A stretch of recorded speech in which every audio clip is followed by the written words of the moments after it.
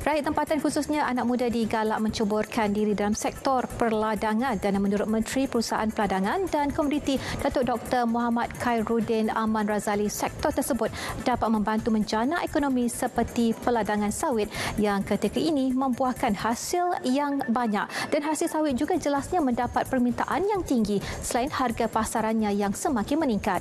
Beliau berkata demikian pada majlis penyampaian mesin ventilator di Hospital Tuanku Jaafar Seremban.